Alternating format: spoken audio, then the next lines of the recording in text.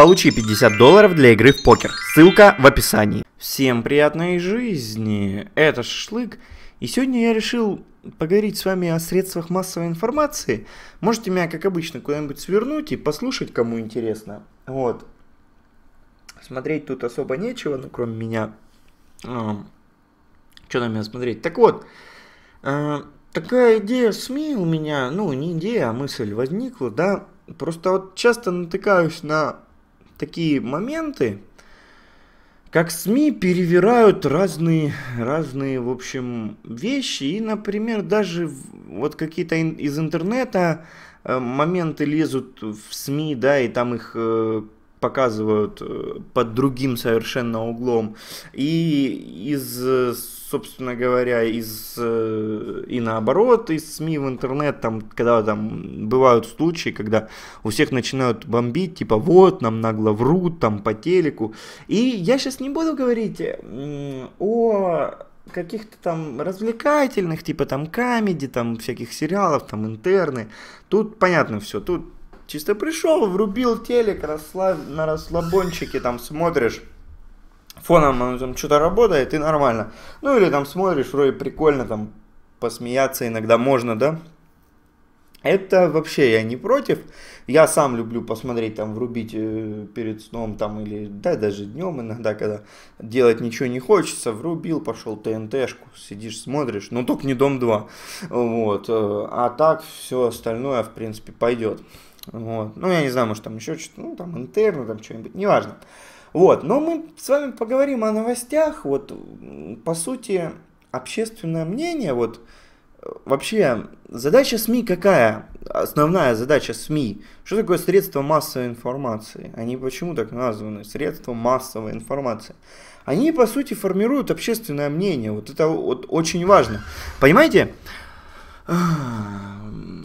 вот что я хочу сказать, да, что такое общественное мнение? Вот ведь э, порой даже какой-то закон бы нельзя принять, да, без предшествующей, как бы, как сказать, подачи инфы по этому закону в СМИ. Вот, то есть вот смотрите, иногда даже бывает э, такие вещи, ну вот я не знаю, мне не хочется мне не хочется приводить какие-то политические примеры, потому что я политику очень не люблю, да. Ну вот, скажем, те же вот какие-то подъем, допустим, повышение штрафов, да, вот там за те же парковки, вот скажем, там 10 или даже 15 лет назад, скажи, что за неправильную парковку ты там 3000 будешь платить, и твою машину на эвакуаторе увезут. Вот любой водитель бы сказал, чё? Да неправильная парковка, это там 50 рублей или сколько там, меньше даже. И все, и разъехались, то есть, а сейчас вот такие большие штрафы. И как бы, когда вот принимается решение поднять там эти штрафы, но я это так, я это образно. Эм, можно и о чем-то более крутом поговорить, да, но вот мы сейчас поговорим об этом. То есть просто, как я как пример привожу, да, в СМИ идет там вот, могут пустить репортаж о том, что куча пробок из-за неправильной парковки, о том, что как это всех достало, там, парочку интервью взять. И в итоге у людей формируется мнение, что Ага, задолбали все не там парковаться. Это на самом деле очень плохо, люди начинают думать. И в итоге, когда люди узнают, что штраф теперь за неправильную парковку там 3000 рублей, да, ну если тебя на эвакуаторе увезли, и там вся вот эта волокета, там 3, а то и даже 5000 рублей все это выходит, люди уже нормально на это реагируют, то есть ни, у кого не бомбит, все, а вот не надо парковаться там, где э, нельзя. И я не говорю, что это плохо или хорошо.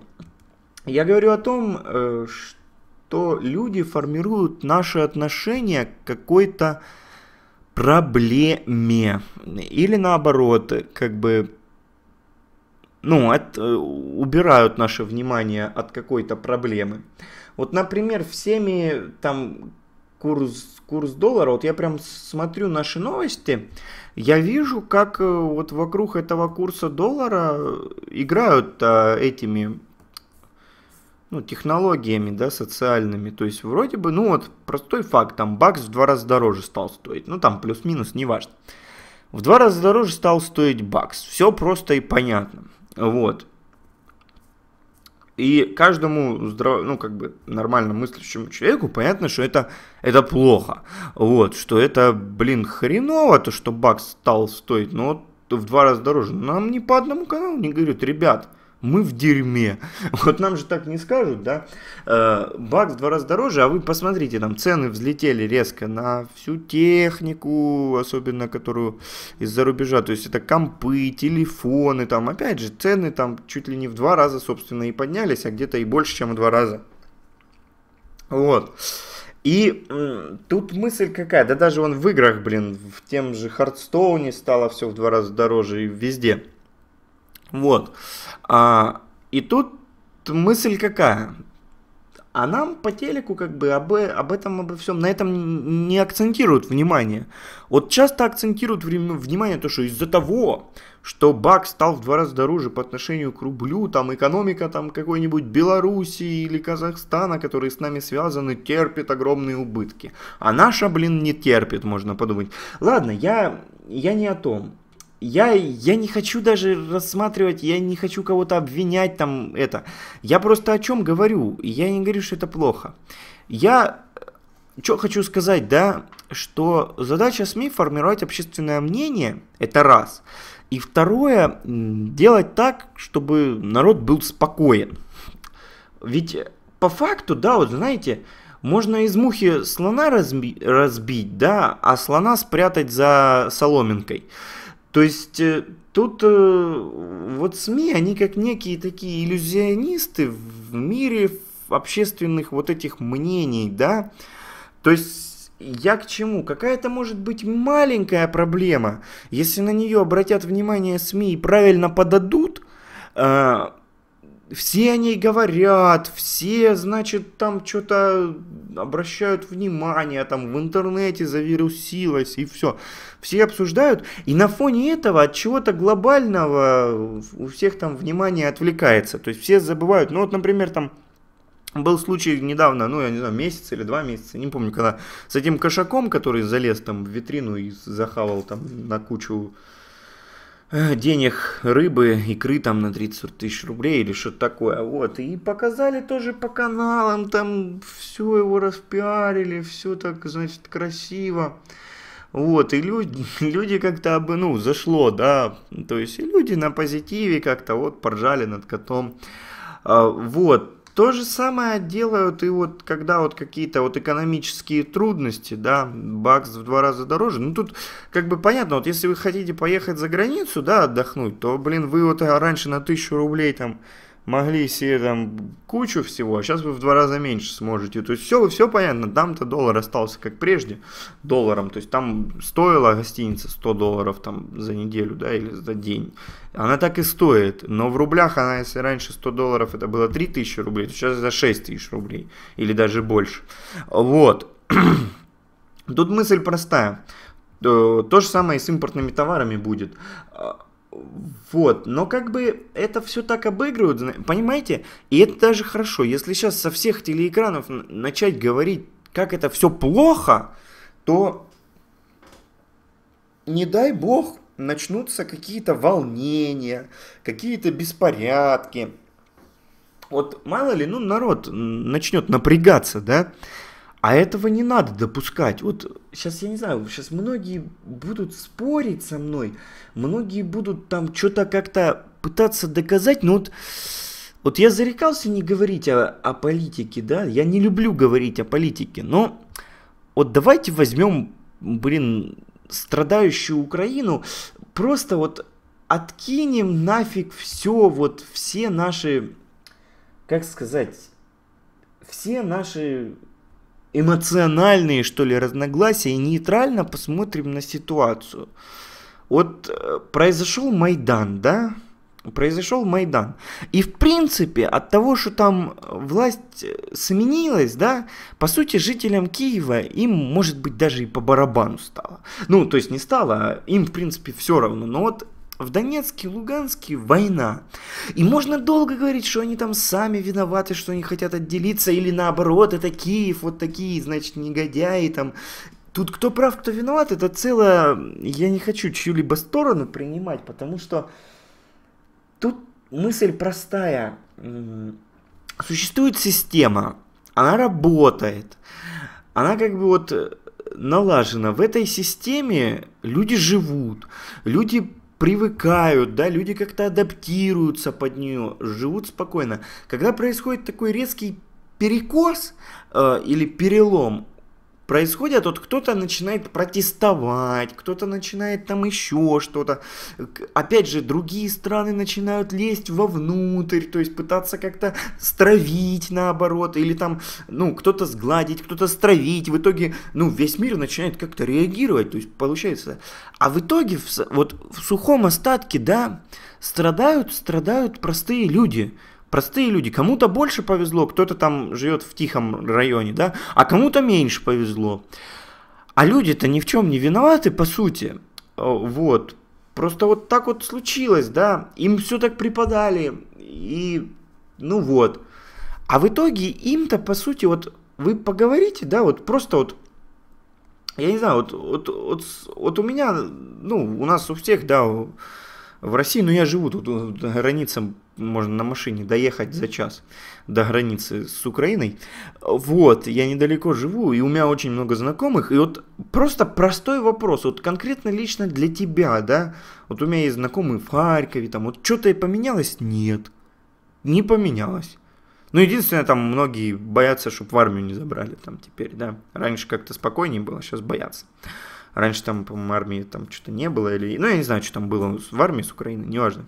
А так, в целом, ну, как получал зарплату, так и получаешь. Ну, то есть, все как бы для простого человека вроде как ничего и, и не поменялось, но это для тех, кто, кому, вот, скажем так, повезло, да, а кому не повезло.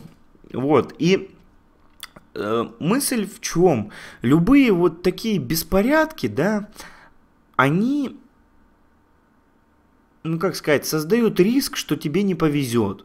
Вот, вот реально, тебе не повезет. Вот лучше, лучше тебе, вот, вот поверьте мне, ну не существует волшебной кнопки, да, волшебного способа, что вот сейчас кто-то придет, станет президентом, неважно в какой стране, и мы все, вот просто нам всем, знаете, по 20 миллионов долларов каждому, или вообще без лимит, все, делай, что хочешь. Ну не будет так первую очередь, чтобы что-то добиваться, надо работать. Так вот, что, какая задача у СМИ? Какая задача у СМИ? Вот я почему говорю, чтобы чего-то, чтобы у тебя было все хорошо, вот конкретно, конкретно у тебя, вот лично у тебя, у твоей семьи, чтобы все было хорошо, должен работать ты, не какой-то там дядя в Кремле или там в Белом доме каком-нибудь или еще в каком-нибудь правительстве. Не какой-то там дядя должен какие-то законы принять, что-то там сделать и что-то там ну, короче, для тебя, за тебя подумать, должен думать за себя ты. И ты должен в первую очередь работать чтобы у тебя все было хорошо. Так вот, задача СМИ, она как раз таки в первую очередь сводится к тому, чтобы народ не страдал хренью, типа там, выходя на площадь и пытаясь там кого-то свергнуть, кого-то там это, в общем, вот эти волнения, а чтобы народ работал, как раньше, чтобы они не заморачивались на тему того, что вот там, доллар стал, там еще что-то там стало, еще, еще, еще, еще. Понимаете, на самом деле, вот если посмотреть с точки зрения России, вот вы просто посмотрите на наш уровень жизни, да, блин, у нас в России уже чуть ли, ну, чуть ли не, ой, вот не хочу говорить сейчас, вот многие будут кидаться тапками, ну, и всякую хрень писать, но вот по сути, у нас народ-то стал жить, ну, достойно. Вот те, кто не бухают, те, кто ничего не это, люди живут достойно, зарплаты нормальные на них. То есть вы, если возьмете там лет 10-20 назад, ну, 20 это, наверное, сильно, ну, 15, когда там зарплату там заплатил коммуналку, заплатил там еще что-то, съездил на маршрутке и все, и те тут ты рассчитываешь, мне в этом месяце как лучше себе куртку купить или не пожрать а, и, или пожрать, а, а куртку не покупать, так похожу. Вот, вот понимаете, так, таких уже ситуаций, ну, нету.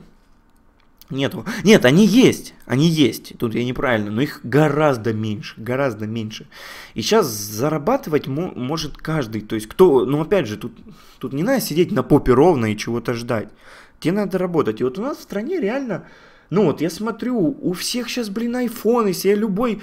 Когда такое было, чтобы там любой, э, чуть ли не школьник, да, ну, сходил с айфоном. Ну, хорошо, 15 лет, что у нас может 15 лет быть эквивалентом айфона. Ну, может, вот 15 лет у меня первый комп появился, да, вот, ну, 15 лет, может, не, ну да, где-то вот так вот у меня первый комп, вот тогда компов не было, да, у многих, вот у кого он был, те типа, вау, крутые, типа, у тебя комп, ты там приходил, смотрел, ну или там приставка игровая, там Sony PlayStation 1.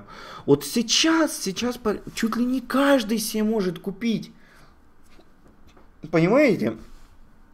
То есть у нас страна, у нас народ на самом деле неплохо жил.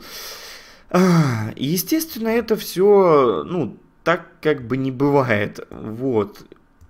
Ну, сказок не бывает, да, таких, в которые мы... То есть реально вот у нас, я прям вот смотрел, да, и понимал, что, блин, а мы на самом деле неплохо живем. Вот, ну, просто в ресторанах, вот выйдете в город, в рестораны битком там вечером, то есть все как бы, ну, уровень жизни был очень действительно, ну, почему был? Он и сейчас, в принципе, есть.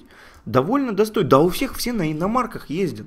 Блин, ты, ты, я вот иду по улице, да, просто чтобы там вот э, какой-нибудь Opel, блин, Volkswagen, Ford, там еще BMW, Audi, хоп, шестерочка вас. А-а-а. Вот раньше, если когда-то, блин, машина такая была роскошью, да, иномарка это вообще вау, то сейчас, блин, а, у тебя шаха смотрят, да, типа говно машина. Раньше машина исполняла свою функцию, то есть она едет, все, ништяк, на ней можно передвигаться, на ней можно возить, возить там что-то. А сейчас, блин, все забили на эту функцию и всем кайф попонтоваться, типа у меня машина, то есть стали себе машины подороже брать. Ну, народ в целом стал жить лучше. Так вот, и когда произошел, ну и понятно, экономика штука, но это все сложно, это все сложно. И когда произошел такой спад, сейчас у нас все немножко подорожает, ну, может, не немножко, а зарплаты, ну, они в два раза не вырастут. Вот, то есть те товары, которые в России будут производиться, да, они не подорожают, но те, которые вот из-за рубежа будут приезжать, они, конечно, подорожают. И задача СМИ как раз вот не накалять, наоборот, не, не обострять внимание на этом, а как-то попытаться сгладить, чтобы люди, понимаете, чтобы люди работали, э, чтобы люди спокойно жили, чтобы они не, чтобы у них не опускались руки, чтобы не возникало мыслей пойти там кого-то свергнуть. Вот задача СПИП поддерживать спокойствие и, скажем так, рабочий настрой. Это, в принципе, во все, во все года было. Вы там в СССР вспомните эти лозунги, которые везде там были, там пятилетку в пять минут, там еще чего-то. И народ работал, давай, надо строить. И что, плохая страна была Советский Союз. Да, отлично, сколько достижений, сколько всего, то есть какое наследие. Шикарное, то есть это, это же нельзя сказать, что это плохо. А по сути, по сути, о чем-то умалчивалось. Также и сейчас говорят, вот в СМИ не было свободы слова. Так и что? Это разве плохо? Это, сейчас как бы свобода слова, она есть, но только там, если без экстремизма, там уж совсем там Свобода слова есть, но теперь СМИ работают другим образом. То есть теперь как бы вот этот свобода слова, кто что-то говорит, да, общий шум, задача у СМИ создать такое общее информативное поле, где вот комментарии таких пессимистов, они просто будут заглушаться общим настроем. То есть скажем так, то есть я, я могу сейчас сказать, вот полная хрень, мы там, у нас все, короче, капут, караул, но на это никто не обратит внимания, потому что общий информационный настрой, который создают СМИ, это телек, это радио, это газеты, там кто что читает, да, он положительный. В целом он положительный. Вот. И это я считаю правильно. Я считаю правильно, потому что чтобы общество и какая-то система функционировала, да, а, человек должен, ну вот понимаете, Я, я вообще считаю так, что, ну вот, блин, не хочу, вот о политике не буду, ладно, не буду говорить, просто скажу, что когда система стабильна, вот неважно какая она, вот мы не можем сказать хорошо или плохо, там, мы живем или еще что-то, вот Блин, есть много стран, где живут гораздо хуже. Есть там Арабские Эмираты, где, блин, каждому реально лям баксов там при рождении дают или что-то такое. Ну, сколько-то там денег, да, и там страна миллионеров неважно, и мечтать можно о чем угодно, но в целом, в целом, в целом все хорошо. Вот. И поэтому, поэтому задача СМИ поддерживать вот такой вот настрой позитивный. При этом иногда, иногда приходится нагло врать. Вот понимаете, есть какой-то, вот что такое история, да, вот как наука, если мы поговорим. Вот есть факт, да, факт который вот там произошла битва в таком-то году, те победили. И все. И вот это факт. Там две армии, ну, назовем первый военачальник, второй военачальник. И вот, понимаете, есть факт, там первый военачальник победил и выиграл войну. Вот, любую, неважно. И вот смотрите, можно тут дальше, когда включаются СМИ, тут уже какая задача, как сформировать общественное мнение. Можно говорить о том, что первый военачальник победил только потому, что он там, значит, всех избивали, там у него была куча людей, которые чуть ли не под угрозой расстрела заставляли всех там идти на смерть и так далее. Вот, можно с такой точки зрения преподать, да, э, ну, преподать как бы победу, да, первого. Можно с другой абсолютно. Говорить, что, ну, первый начальник был нормальный, но победил он не потому, что он такой крутой, он вообще, ну, он просто среднестатистический чувак. А вот второй был дятел, он там забухал, у него там разлад, никакой дисциплины, и поэтому они была армия вторая в пять раз больше, но она проиграла первой армии. То есть и тут тоже, вот у нас есть факт, да, простой, было сражение, а как вот мы будем воспринимать это, это уже зависит вот как раз таки от средств массовой информации. Но я сказал на примере исторического события, а средства массовой информации, они как горячий пирожок, да, знаете, вот что-то произошло, да, э, и вот как это воспринять, да, как, как, как это воспринимать, тут уже ложится на плечи СМИ задача сделать так, чтобы для народа, для народа, то есть преподнести этот факт максимально выгодно для спокойствия народа. Вот. Как бы вот так вот. И я считаю это правильно. То есть вот это как бы, на мой взгляд, вот что такое правда, да? Вот реально, тут понимаете, правда ее даже, вот э, вы согласитесь, вот любой, любой, любое событие, любая новость, это как сказать, это сплетение кучи факторов, вообще кучи факторов, просто миллиона. Вот даже возьмем простую игру в футбол, да, вот у нас любят говорить, вот там наши футболисты в очередной раз проиграли. И все задаются вопрос, почему они проиграли, почему они проиграли? То ли потому, что футболисты эти, блин, зажрались, и у них там зарплаты большие, они там думают, как в рекламе сняться, а не, значит, э, футбол играть. Можно с этой стороны преподнать. То ли потому, что тренер у нас, значит, плохой, и то вот он виноват, то ли потому что там еще что-то там врачи не досмотрели, там и кто-то там, значит, инвалида на поле выпустили, неважно. Вот. То ли потому, что у нас Министерство спорта нифига не работает, нет стадионов, где тренироваться и так далее, и поэтому вот у нас нету людей, которые, значит, ну, лучших из лучших, да, мы не можем отобрать, потому что у нас их нет. Вот куча, куча разных причин, да, может быть, почему проиграла футбольная команда. А по факту, по факту, просто проиграла футбольная команда и на, в, однозначного, правдивого ответа, почему она проиграла, ни у кого нету. Ни у кого нету. Кто-то будет винить там вообще все поколение, говорит, что вот все бухают, сидят в интернете, никто спортом не занимается.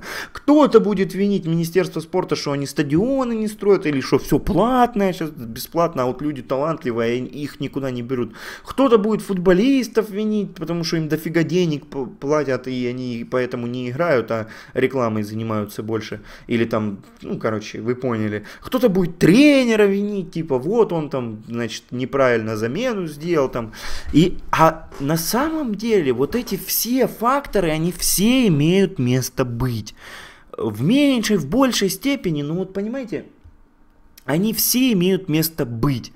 Э, и тут как бы не, не, нельзя однозначно о чем-то говорить. И так, так любой, любой случившийся факт, любое событие, вот правды, да, что на самом деле случилось, ее нет. Да вы возьмите, я не знаю, любую, блин, автомобильную аварию, да, и вот что, кто, кто виноват автомобильная авария? Тут если начать распутывать клубок, так кого винить? Там, может, водитель ехал, отвлекся там на навигатор, допустим, да? Э, кто виноват, производитель навигатора или водитель? Ну, вот, ну, скажем, можем, отвлекся, да, там, и, ну, что-то произошло, да, на дороге, что-то не заметил там то ли еще что-то там не туда посмотрел еще, то ли там он превысил скорость, а вот на самом деле он мог и скорость превысить, и отвлечься, и тут как бы и то, и то, то есть куча разных факторов есть, и однозначно вот нельзя сказать, что послужило причиной аварии, то ли вообще водитель просто не выспавшийся был там, и вот куча, понимаете, разных вот этих вот факторов, да, которые влияют, то есть жизнь, она вообще сложная штука, и когда что-то происходит, вот, вот тот же курс рубля, да, рубль, э, доллар в два раза дороже стал стоить, да, и тут можно винить там Центробанк, можно винить наше правительство, можно винить э, кого угодно, но на самом деле, вот на самом деле особых, как бы, ну как сказать, вот на сто процентов сказать, кто в этом виноват, что так произошло, Тут э, никто вам не скажет, ни один, ни один профессиональный, непрофессиональный аналитик. Так вот, задача СМИ, да, подать все в таком духе, чтобы люди были спокойны, вот, чтобы не было паники, чтобы все не бежали, вот понимаете, у нас до Нового года там и так многие бежали, там скупали технику, куда теперь ее девать, только не знают, вот, типа там многие там в доллары все переводили все свои сбережения. Ну, вот. Вот когда начинается, понимаете, подобная паника, это очень и очень плохо. Это бьет и по банковской системе. Банки начинают давать людям доллары, они у них заканчиваются, они говорят, блин, нафиг нам теперь эти рубли, и в итоге они начинают выкидывать рубли, в итоге доллар еще растет отчасти из-за этого. И, в общем, все как снежный клубок начинает накручиваться, так вот, и становится еще хуже в итоге тем же людям, да. А, вот, так вот, задача СМИ поддерживать некое такое спокойствие. Вот, я считаю это очень правильно. И я считаю не зазорно, не зазорно для поддержания спокойствия. Ну, вот, понимаете, тут можно привести аналогию, да, вот человек болеет, да, вот ему плохо, да, и диагноз там какой-то страшный, допустим, человек там станет инвалидом, да, но надежда ведь есть какая-то. Ну, а врачи говорят, вот человек, все, вот он будет, там, попал в аварию, и все, врачи говорят, будет прикован к инвалидному креслу. Но мы же сколько случаев знаем, когда врачи так говорят, а человек путем упорных тренировок, путем работы, путем поддержки родственников, да, э, как бы добивается того, что он в итоге, ну, излечивается, да. А, вот, и теперь представьте, если бы вот врачи такой диагноз ставят, и приходит там, я не знаю, там жена, да, к мужу, ну, неважно, родственники, и говорят, ну, все, что, ты инвалид на всю жизнь. Вообще даже не пытайся что-то изменить. Врачи сказали, не вариант. Все, лежи, умирай. И, и что, это хорошо? Вот, ну это сказали прямиком правду. Лучше сказать человеку, как-то его поддержать, сказать, ну вот, э, да, там тебе досталось, ты вот сейчас болеешь, ну ничего, скоро вы, скоро ты поправишься, мы еще с тобой там на сноуборде кататься будем, в море купаться, там, что там, в клубешник пойдем, позажигаем. И человек как-то взбадривается, он начинает работать над собой как-то, и вполне возможно, что он может и, и излечится, вот. Да даже если не излечится, в любом случае у человека будет какая-то жизнь, будет надежда, он будет к чему-то стремиться. Вот то же самое и тут, да, то же самое и в СМИ, только в таком неком другом, можно сказать, в, вот, с другого угла, да, или как в другом поле информационном, но смысл тот же самый. Да, плохо, да, как бы там какие-то минусы есть, да, там что-то случилось, да, не все гладко проходит. Но задача СМИ подать все так, что вот, эм, ребят, да, такой косяк есть, но давайте с вами поработаем, и все там скоро там разрулится, все нормально будет, если мы там, значит, в общем, переживем, и все ништяк будет. вот. Поэтому я, я не против того, что СМИ иногда обманывают, перевирают факты какие-то, даже когда их за руку ловят, ну, Понимаете, башка, башка, она у каждого своя, да. А тот чувак, которого, вот, понимаете, тут как можно сказать, умный человек, да, он все понимает, он, э, ну, я не говорю, что я там такой, я просто говорю, вот умный человек, да, у него своя башка, свой аналитический мозг, и он может откинуть вот эту вот всю мишуру, да, и посмотреть, вот есть факт, да, выслушать там разные точки зрения и найти, э, ну, как бы, реальную, что там, ситуация, да, как-то сориентироваться, да, а человек, который вот всему верит, да, и говорят, вот СМИ зомбируют там. Так если человек, ну, своей башкой не думает, да, так лучше пусть его зазомбируют, чтобы он дальше работал и э, спокойно сидел и никуда там не лез, да. Чем и вот это вот сейчас поднимут, да, там, и он пойдет там за раблями Кремль оккупировать. Не, не надо, не надо, зачем? Вот, лучше спокойно жить. Вот, я, я за мир, как бы, не надо никуда лезть, ничего, никого. Вот, понимаете, вот скажите мне, вот там же вот, ну вот, блин, я вот так не люблю политику, ну вот там, ой, ладно, не буду ничего говорить, просто скажу, вот в результате вот там в Украине же это же не первая революция, да, и вообще во всем мире, вот где происходили революции, ну неужели там становилось... Ну мы, конечно, не будем говорить там о тех, где там было рабство, его в результате революции отменили. А вот возьмем э, наш как бы мир, да, уже более-менее сформировавшийся, и где-то там в результате революции прям так хорошо стало, да нет, нет, Любая революция – это удар по экономике, и опять же новое правительство – это потеря связей государственных, то есть это надо новые договора заключать. Это целый геморрой, ребят. Целый геморрой, это и с внешней политикой, и с внутренней политикой. Поэтому я считаю, есть система, работает хорошо, и СМИ просто воспринимайте как часть этой системы по поддержанию спокойствия. Вот, и как бы я считаю, с этой задачей наши СМИ справляются, и вообще респект им за это. Респект, потому что вот ну вот единственное мне что не нравится, да, то что вот проблемы в других странах прям вот выпячивают там, ну, например, показывают там, вот знаете, вот у нас тоже кризис, вот, например, когда показывают там какую-то, я вот не помню, не могу, ну, какую-то страну, да, и показывают, что вот там не урожай яблок, и так все подают, типа, вот, э, из-за того, что мы там запретили ввозить яблоки, у них там столько-то яблок, все остались без работы, там столько-то сельхозхозяйство банкротилось, типа, вот понимаете, когда начинают э, создавать такое впечатление, что типа вот у них там плохо, вообще жесть плохо, вот, а у нас тут все типа круто, вот я, конечно, против такой пропаганды, да, когда вот начинают наши СМИ пропагандировать, что там где-то плохо. Вот. Хотя у нас тоже и, ну, если так посмотреть, ну, вот люди, я же говорю, умные, они смотрят на ситуацию. У нас тоже там и некоторые заводы там останавливаются. Ну, ничего страшного. Вот. Это экономика, от этого никто не застрахован. И тут как бы, тут никуда не деться. Ни, никуда вообще не деться, ничего не это с этим не поделать. Это жизнь, в конце концов, жизнь сложная штука, да.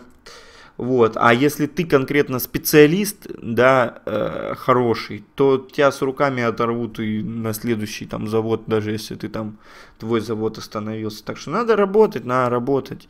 Вот. И человек работящий, он в любой ситуации, ну, или специалист, да, или даже тот, который руками может там, ну, понимаете, строители ну и все вообще вот такие э, профессии, они всегда нужны, всегда нужны. Вот, э, как строители, так и инженеры. Ну вот главное, вот лоботрясы никогда не нужны, те, кто ничего не делает.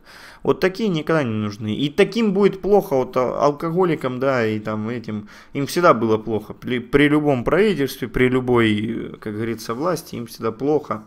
И они всегда всем недовольны, да, вот, э, можно сказать, даже и быдло. Ну, я не хочу как бы так грубо говорить, да, но вот есть быдло, да, и вот они там всегда что-то там пытаются там на грани законных рамок, да, вот, вот вроде как вот даже незаконными там что-то как-то вымутить, там намутить, вот это вот, вот эти вот сетерки, да, вот они есть, и вот таким людям они всегда чем-то недовольны, да, там, э, вот. А если человек нормальный, ему хорошо будет при любой, при любом политическом складе там и так далее. Вот. Так вот, тут задача СМИ как бы поддерживать спокойствие. Я считаю, и поэтому не надо там возникать, что вот нам врут там средства массовой информации, да. Да и хорошо, и врут, и пусть и врут. Там не тупые люди работают, поверьте мне. Там, там они анализируют, как эту новость правильно подать, чтобы она зашла, чтобы там э, это, вот, понимаете, вот Обратите внимание на простую вещь. Вот играют там в наша хоккейная сборная с кем-то, и хоп, она проиграла. На следующий день в новостях могут даже не сказать об этом. Могут не сказать, не обратить внимания, не заострить внимание. А если она выиграла, наоборот, по всем каналам, во всех новостях наши хоккеисты победили там в жесткой борьбе, там разгромили там кого-нибудь, там с кем они там играли. Вот. И тут мысль тоже очень понятна. То есть надо больше давать положительных как бы моментов, чтобы мотивировать людей. Вот может кто-то после такой новости сам хоккеем начнет заниматься. А если мы будем говорить, что вот мы проиграли, у нас не было никаких шансов, их уровень игры в сто раз лучше нашего, наши хоккеисты вообще на льду не умеют ездить, так и что в итоге мы получим? Что в итоге мы получим? Мы в итоге получим, что э, люди э, махнут на все, знаете, пойдет пессимизм, никакой, никакого вот этого вот как-то жизненной энергии не будет. Вот, и как бы это, это будет еще в сто раз хуже, э, чем когда нас там немножко или что-то не договаривают, или где-то обманывают, и, и что-то такое происходит. Вот, так что в следующий раз, когда будете там писать, вот, э, телек там, значит, врет, там в новостях хрень несут, да, ребят, вы просто, а это же не просто так делают. Вы задумайтесь, что как бы для вас же и стараются, да, понимаете? Вот э, тут я сейчас приведу простую аналогию. Вот правила дорожного движения, их ужесточают, да, ну, ужесточают наказание за нарушение. Сами правила-то особо не ужесточают, да. Вот, ну вот представьте, сейчас просто возьмут и отменят правила дорожного движения, и все поедут, вот кто, как вообще, не будет этих гаишников, которые, вот просто уберут всех гаишников, да, и все будут знать, что никто не оштрафует, и просто все будут носиться, будет миллионы аварий, будет куча, вот вроде как все не любят, да, но, блин, если их не будет, будет еще хуже, вот, вот с этим, я думаю, все согласны. То же самое и СМИ. Вот вроде как всем там, ну, многим не нравится, что там что-то обманывают, что-то врут, там зомбируют. Но вот если бы их не было, было бы еще хуже. Вот. И как бы... Поэтому не надо подхертить на эту тему. Вот, не надо там строить из себя умника, не надо там что-то кому-то доказывать. Задача СМИ про простая, поддерживать порядок. Вы это, если ты считаешь, что ты умный, так ты должен это понимать. Если что-то где-то произошло, так ты сам почитаешь разные точки зрения, вот, или найдешь, или посмотришь, если тебя интересует достоверная информация. А если нет, так тебе дали инфу, с какого-то, с какой-то точки зрения подали, да, информацию, вот там сказали, что кто прав, вот произошло там что-то, да, Вот опять же, вот та же, э, там, кто-то там сбил человека, и вот можно подать, то ли этот человек выбежал на проезжую часть, то ли это водитель несся э, с превышением скорости. А на самом деле, что было? На самом деле и человек выбежал посреди дороги, где он не должен выбегать и водитель с превышением скорости несся. Так вот, если в СМИ подают с однобока, да, и говорят, что вот водитель несся, он виноват, вот, то как бы умный-то человек, он скажет, что на самом деле не только там водитель, там и пешеход в неположенном месте, плюс еще и выбегал, но вот СМИ об этом умолчало, да, только потому, чтобы у нас не носились так водители, потому что вот убил человека, допустим, на дороге. Вот, и как бы, и это и хорошо, вот. Так можно и обо всем сказать. Так что вот формирование такого общественного мнения и поддержание спокойствия, это задача СМИ.